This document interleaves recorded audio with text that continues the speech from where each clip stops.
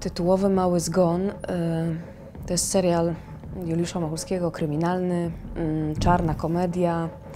Y, W naszym serialu mm, nazwa miejscowości. Mm, Co to jest za serial? Jeżeli ktoś zna i lubi kino Juliusza Machulskiego, to wie, co, to jest za serial, albo przynajmniej wie, na, czego może się spodziewać. E, Myślę, że fani na to czekają. Ym, No, Juliusz Machulski jednak ma za sobą ym, świetne polskie superprodukcje, komercyjne, ale jednak zapisujące się w naszej historii i, i, i jako takie hmm, no, hity tak zwane, które każdy z pamięci gdzieś tam cytuje, więc e, nie wiem jak będzie z małym zgonem, czy będą cytować z pamięci, ale na pewno, e, na pewno będą się dobrze bawić przy tym. Dziś dla mnie, jakby jak budowałem tę postaci, podstawową mm, różnicą między nimi było to, że Marek jest pozbawiony empatii zupełnie. Znaczy jest to człowiek, który gdzieś podchodzi już po, że tak powiem, em, mm, że tak powiem psych, psychopatyczne, że tak powiem, patrzenie na świat i manipulowanie ludźmi. I Ryszard, który jest y, uosobieniem empatii, który jest nadwrażliwcem, który ma taką empatię, że y, ona utrudnia mu egzystowanie w tym świecie, w którym, w którym żyje, który gdzieś jest bezwzględny i tak dalej i jest to bardzo, że tak jakbyśmy to powiedzieli, pi- pi- wypielęgnowane w sobie dziecko, które, które powoduje, że trudno mu się odnaleźć w rzeczywistości. A Marek wręcz przeciwnie. Tę rzeczywistość, którą ma, która, w której jest, to y, on kształtuje. Y, I nie widzi żadnych problemów ani przeszkód, żeby osiągnąć to, co sobie założy. Więc jakby to, to rzeczywiście powoduje, że, że, to są dwaj zupełnie y, różni ludzie.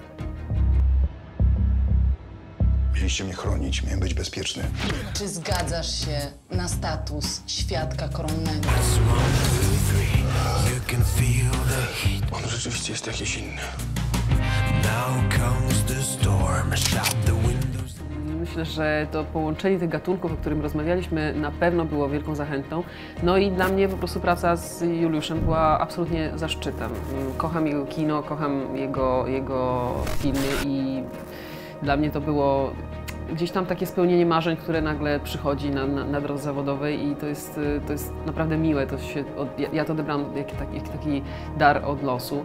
E, oczywiście na początku trzeba było, z, jakby, ja, ja musiałam zrozumieć pierwszego dnia, e, kiedy miałam zdjęcia i to był w ogóle pierwszy dzień dla całej ekipy.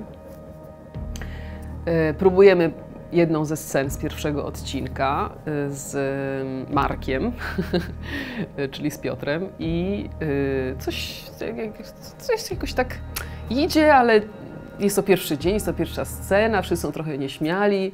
Wchodzi Julek i mówi, czy nie mamy lepszych aktorów? Gdzie są ci lepsi? O, nie mamy. No trudno. Jakby to był jego sposób na rozładowanie tego typu napięcia, tak? Wszyscy byliśmy trochę tacy spięci, próbowaliśmy się obczaić. Oczywiście mieliśmy próby i to mm, tydzień próbowaliśmy wcześniej, takie czytane i dużo rozmów. No ale wiadomo, jak się wchodzi na plan i nagle jest milion nowych twarzy i nowych energii i trzeba się dostosować, jednocześnie zachować siebie i, i skupić się, jakby wyjść z takiego stand-by'u i z takiej gotowości do jednak do skoku, no to nie zawsze ten skok wychodzi na początku, tak? I, i, i Julek pod tym względem był cudowny w takim, e, w takim z, o, em, no, oswajaniu nas wszystkich ze sobą i stwarzaniu jednak teamu, tak? E, to było naprawdę cenne. mogłem się spodziewać zaskoczeń, że, że, że to, co im się wydaje, że mają już oswojone, raptem się okazuje, że nie, że przywiązują się do jakiegoś bohatera e, i tak dalej, a raptem ten bohater znika. I, mały zgon, no jak sama nazwa wskazuje, parę zgonów tam następuje. I myślę, że no gdzieś ta łamigłówka jest ciekawa. Znaczy to cały czas właśnie, no bo jeżeli obserwujemy dwóch gości, którzy wchodzą w swoje życie, zamieniają się jakby tym życiem i jakby stawia ich ten los w tej sytuacji, że muszą się zmierzyć z czymś, czego kompletnie ich zaskakuje, że nie wiedzą co, raptem ich rzeczywistość się zmienia. E, kompletnie. Jak jeden wykorzystuje to, tę szansę, a drugi jakby pod, nie wie, jak się w tym odnaleźć. Gdzieś jakaś czują, ten, ten Ryszard czuje szansę w tym w pewnym momencie, że może coś, czuje, że coś go zmienia, Że te wydarzenia, które, w które się wplątał, w które się wkrę, wkręciło go w los, jakby powodują, że on musi stawić czoła rzeczom, na które w normalnym swoim życiu rzeczywistym nigdy by go czegoś, coś takiego nie spotkało. No i to jest zawsze ciekawe, nie? Jakby widzimy bohatera, który musi się zmierzyć yy, i wtedy jakby się z nim utożsamiamy. To, co nam się w życiu czasem przydarzyć, co jest ten, że coś nas zaskakuje, musimy się w tym odnaleźć. Musimy jakby na krawędzi jechać i, i żeby się z tego wydobyć. I to jest ciekawe, myślę.